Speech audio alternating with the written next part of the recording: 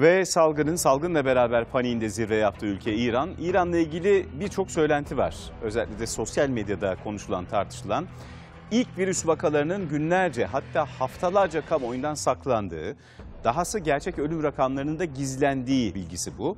Bunlar tabii yenileri yutulur iddialar değil ama ne kadarı doğru, ne kadarı yalan elbette bilemiyoruz. Gerçek olan bir şey var ki o da İran ve bölgesindeki ülkeler diken üstünde. İran devleti halka sokağa çıkmayın uyarısında bulunuyor. Özellikle 11 eyalet için. Görünen bu. İran devleti geç de olsa alarma geçmiş gibi. Dün Çin'in Rusya Büyükelçisi korona aşısı için sona yaklaştık demişti. Umut verici bir açıklamaydı. Bu da çare bulundu mu acaba sorularına neden oldu. Dünya şimdi bu sorunun cevabına kilitlenmiş vaziyette.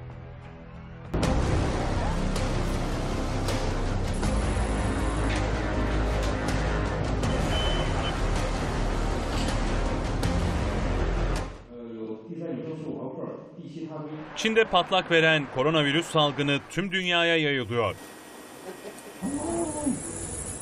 Ölü sayısı ve kayıtlı vaka sayısındaki artışın önüne bir türlü geçilemiyor. Virüse karşı bir aşı da henüz geliştirilebilmiş değil. Çin hariç 6 kıtada 37 ülkede koronavirüs vakaları tespit edildi. Hastalığa yakalananlar ve onlara temas edenler karantina altına alındı. Birçok ülkede virüsün yoğun görüldüğü bölgelere giriş çıkış yasaklandı. Toplu etkinlikler ve spor müsabakaları iptal edildi. Virüse Çin'den sonra en çok kurban veren ülke İran. İran'da durum öyle bir seviyeye ulaştı ki ülkenin Sağlık Bakan Yardımcısı İreç Harirçi bile koronavirüse yakalandığını duyurdu. İran'da koronavirüsün hızla yayılması vatandaşlarda panik havası oluşturdu. Halk gıda ürünlerini depolamaya başlayınca mağazalardaki raflar hızla boşalmaya başladı. Sağlık Bakan Yardımcısı ve aynı zamanda Tahranlı bir milletvekilinin virüse yakalanması ülkedeki durumun ne kadar vahim olduğunun bir göstergesi. Dünya kamuoyu Harirçi'yi iki gün önce yaptığı karantinanın gerekliliğine inanmıyoruz açıklamasıyla tanıyordu.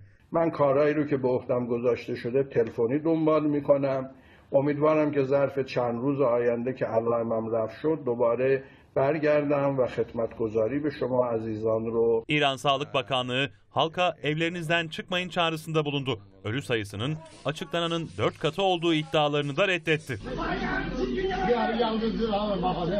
Tüm komşuları İran'la olan sınırlarını kapattı. Türkiye'de İranlıların ülkeye girişini yasaklarken İran'la olan 4 sınır kapısını kapattı ve bu sınır kapılarında virüse karşı önlemler aldı. Virüs Avrupa'ya ise İtalya üzerinden yayılıyor. Ülkedeki ölü ve vaka sayısı hala artarken İtalyan yetkililer sadece bir kişinin tamamen tedavi edilebildiğini açıkladı. İspanya'nın tatil cenneti Tenerife'de bir İtalyan doktorda virüs tespit edilmesi üzerine bin kişilik bir otel tecrit altına alındı. Avrupa'da İtalya, Fransa, Almanya ve İngiltere'nin yanı sıra Hırvatistan, Avusturya ve İsveç'te de koronavirüs vakaları tespit edildi.